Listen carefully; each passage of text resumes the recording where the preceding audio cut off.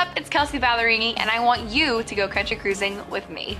Join me on board as we sail down the beautiful Caribbean January 14th through January 19th, 2017.